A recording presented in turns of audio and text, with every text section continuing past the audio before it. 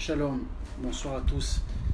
Nous allons parler ce soir de la paracha de Rukat avant Shabbat, Bezrat Hashem, et essayer de comprendre au niveau des secrets de la Torah qui, avec l'aide d'Hachem, vont nous aider à comprendre euh, ce qui s'est passé avec ce qu'on appelle la faute de Moshe au moment où euh, Hachem donc demande à Moshe Rabbeinu de parler avec ce fameux rocher. Et que à la suite de cet événement, Moshe ne va pas parler avec le, rocher, mais il va frapper ce rocher. et on se connaît la suite, où là on va sortir de, donc de l'eau, on va jaillir de l'eau, ce, ce, fameux rocher, et Moshe et Aaron ne vont pas rentrer en Eretz Israël. Les commentateurs nous, nous disent d'ailleurs que euh, il est très difficile de comprendre les raisons profondes que le Ramban, Nachmani d'ailleurs nous dit que ça relève des secrets de la Torah pour comprendre cet événement. Donc on essaye, grâce au mérite du Harizal qui nous a transmis les secrets de la Torah et on a la chance dans notre génération d'avoir beaucoup de rabbinim qui savent transmettre ces enseignements à un niveau accessible pour nous, notamment le Rav de David, Daniel Cohen aussi à Quimbran, à Jérusalem, qui transmet de manière euh, euh, formidable les enseignements, les secrets de la Torah, le Rav Yoel Ben d'autres Rabbanim, aujourd'hui on en a qui ont ce niveau pour nous permettre à nous de comprendre ces enseignements et de les retransmettre. Pour retracer un petit peu l'événement et l'enseignement qui nous concerne par rapport à, ce fameux rocher, il faut se rappeler tout d'abord que la période du désert, comme on l'a vu, a duré 40 années. On se souvient que par le passé, Moshe, sous l'ordre déjà d'Hachem, avait frappé le rocher, le fameux rocher qui correspond, comme on le voit, à, Myriam, et d'où l'eau avait jailli par le passé. Et donc il y a eu un premier événement qui a été réalisé avec succès. Et là, finalement, le même cas, on va dire, se reproduit et Hachem demande une action qui est différente de la première. C'est-à-dire qu'il n'y a plus une action de frapper le rocher, mais de parler avec ce rocher. On va voir ce que cela veut dire. Et donc, pour se comprendre un petit peu tout ce processus, il y a la sortie d'Égypte, il y a les 40 ans passés dans le désert. On a vu précédemment la faute des explorateurs quoi ça correspondait justement. Et là, dans cette paracha, la Torah va nous parler aussi du décès de Myriam. Et par le mérite de Myriam, justement, la Torah nous dit que nous avons pu bénéficier de manière miraculeuse de l'eau dans le désert et de ce fameux puits qui est attribué à Myriam, lequel celui que Moshe avait frappé par le passé et que l'eau avait pu jaillir.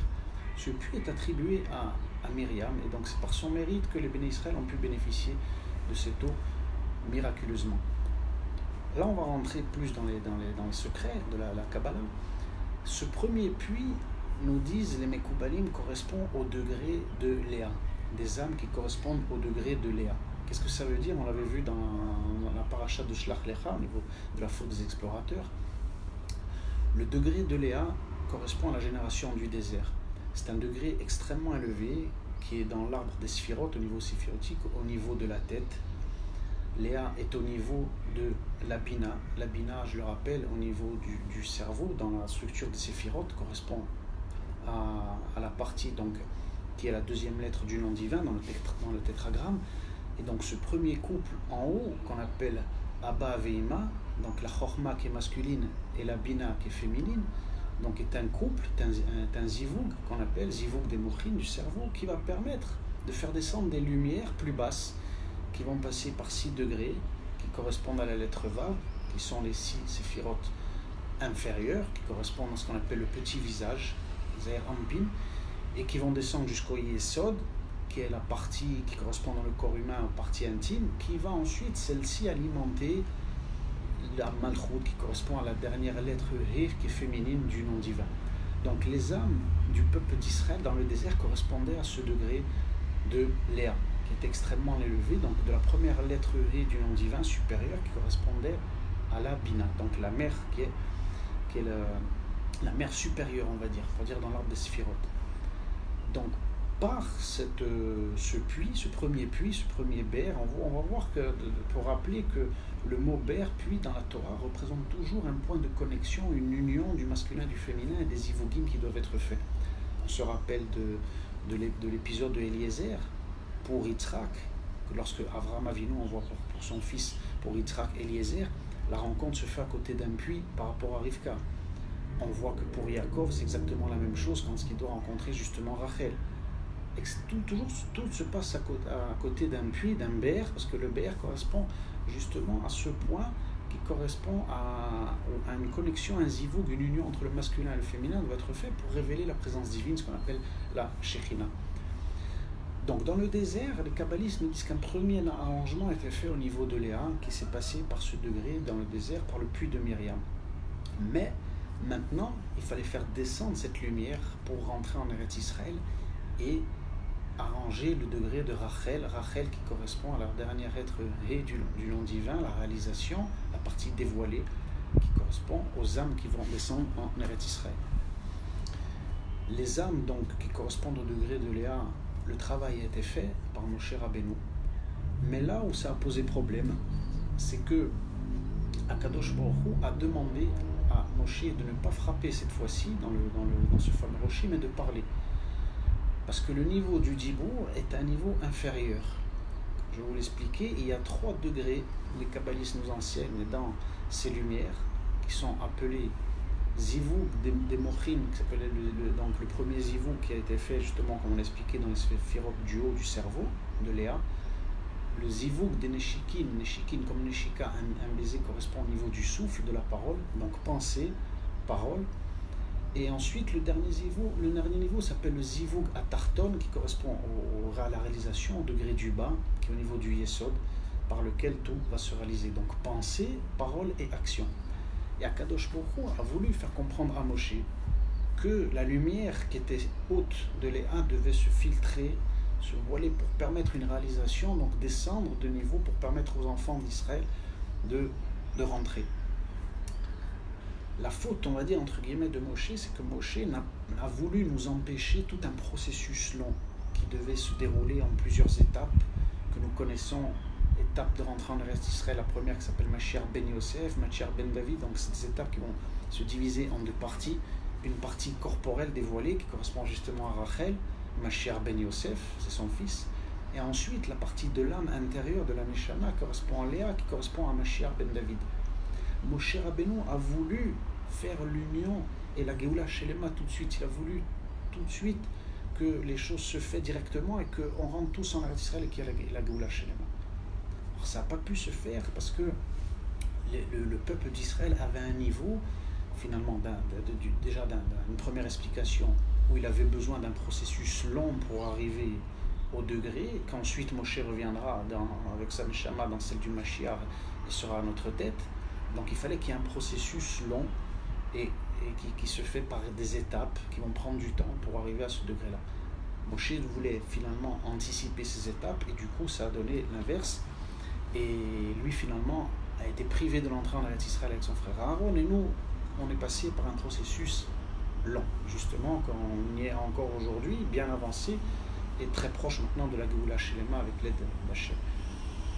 Donc euh, Moshe, dans, ce qu'il ne faut pas perdre d'idée, c'est que son intention, lui, est de faire un arrangement et de gagner au niveau du temps, de faire les choses avant et d'empêcher le peuple d'Israël, bien entendu, du temps, des souffrances, de tout ce qu'on a pu passer ensuite. Et, on le voit dans l'histoire qu'il y en a eu des souffrances. L'exil du peuple juif, après le retour sur la terre d'Israël, s'est passé comme on le sait il y a eu des guerres, donc c'était un processus lent et douloureux que Moshe connaissait bien sûr et qui voulait gagner du temps et permettre au, peuple d'Israël d'éviter toutes ces, étapes et longues et douloureuses.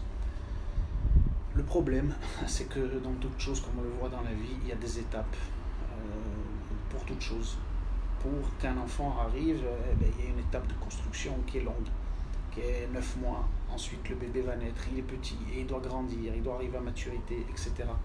Et donc, ce processus, finalement, des choses qui nous dépassent, qui sont la volonté du, du Créateur, nous enseigne à chaque reprise que les fautes de précipitation peuvent être dangereuses et qu'il doit avoir de la patience et de la tolérance surtout, et d'accepter un niveau des fois du peuple, au niveau collectif comme individuel, qui soit en dessous même, et de comprendre que c'est un processus. Et on voit que finalement, même aujourd'hui, dans notre époque moderne, beaucoup font cette erreur de compréhension et voudraient, beaucoup encore de nos frères sont en exil et ne comprennent pas tout le processus de la Géoula, ne, comprennent pas que la délivrance du peuple d'Israël, la, recréation de l'État d'Israël, qui au départ a été faite par des gens même qui n'étaient pas forcément pratiquants, faisait partie de ce processus. C'est exactement ce qu'on voit dans la paracha de Foucault. C'est le processus qui se fait doucement, par étapes, par construction, et non pas d'un coup.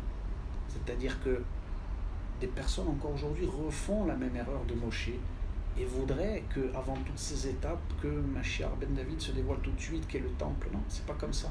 Il y a des étapes. Il y a des étapes avant cela. Il y a une reconstruction nationale, comme on l'a vu, qui se fait. D'abord le corps des choses. Un État qui se reconstruit depuis 70 ans par le social, par l'économie, par l'armée, par ses, ses innovations, par sa politique, par tous ces degrés au niveau de la matérialité. Et, la Neshama, simultanément, on voit qu'elle rentre, on voit que la Torah commence à rentrer de plus en plus.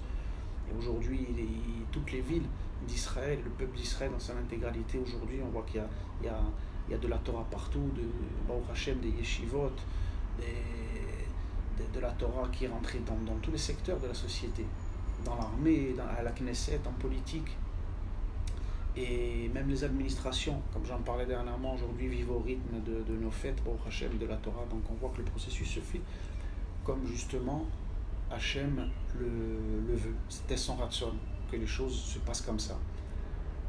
Que les choses se passent par étapes. Que les choses ne soient pas court-circuitées.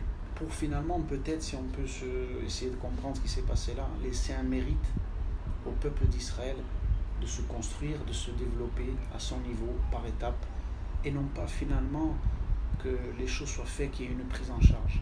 Peut-être que Akadosh n'a pas voulu que cet arrangement se fasse comme Moshe le désirait, parce que finalement, c'est une forme de, bien sûr d'amour infini pour son peuple qui il voulait que nous-mêmes nous arrivions à nous construire, à nous développer et à faire venir, à reconstruire le temple, à faire venir le Mashiach par notre propre mérite et non pas finalement dans l'ombre de Moshe Rabbeinu qui était immense déjà et qui serait, il rentré avec nous, on aurait été.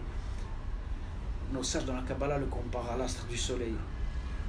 Et dans la faute des, des Meraglim, justement, il n'est pas rentré, on dit les sages aussi dans la Kabbalah, parce qu'il est, il soleil. Et le soleil, s'il il, il, rentre en Eretz Israël, comme la terre d'Israël est comparée à l'astre de la lune, il aurait éclairé de sa lumière.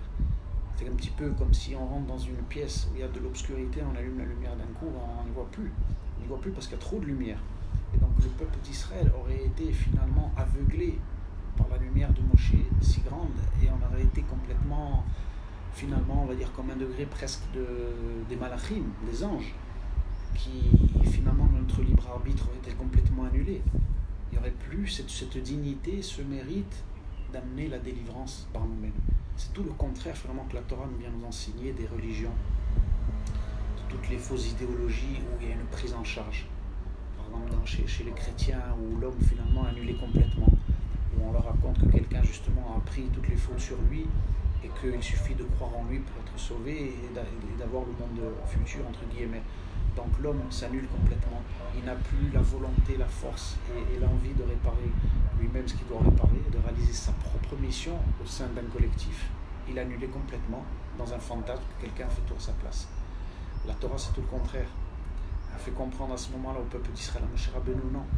Moshe, tu vas revenir lorsqu'il faudra, lorsque le peuple sera au niveau, il va se construire lui-même, tel un enfant qui doit grandir, se développer, arriver à un niveau, et toi, à ce moment-là, tu reviendras dans Mashiach, la combinaison de Moshe et de David Ameller à la tête de cette nation, ce peuple qui aura grandi qui sera arrivé à un niveau auquel tu pourras le, diriger et que finalement tout sera dans une structure, une unité parfaite et non plus quelqu'un qui, qui finalement qui nous, qui nous éclaire et nous comme des petits enfants complètement annulés devant lui. C'est ça la leçon, qu'il faut retenir de cette paracha de Rukat, c'est qu'il faut avoir la conscience que le peuple d'Israël, nous, chaque individu, on doit réaliser ce que nous devons réaliser au sein de notre nation, corriger nous-mêmes ce que nous devons corriger avec notre propre fierté, notre propre dignité.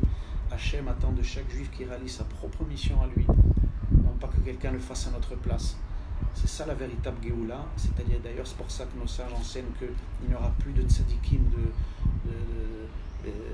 dans, les dernières générations, parce que justement, Hachem attend que le peuple se prenne en main lui-même, plus de prise en charge des tzadikim, de, des grands rabbis, des, des, des tzadikim, des raves, un tel, un tel qui prenaient, des tzadikim prenaient en charge comme ça. Hachem, il n'y a plus là de grand, d'une certaine manière, et le, parce qu'avant le Mashiach, la dernière étape va être le peuple d'Israël qui va être en face de responsabilité, et Hachem attendra de nous-mêmes que nous arrivons, Mimera Bienmenou, Mikarov, à reconstruire le temple, à aider à faire venir le Mashiach que le peuple d'Israël, par son mérite, le fasse venir.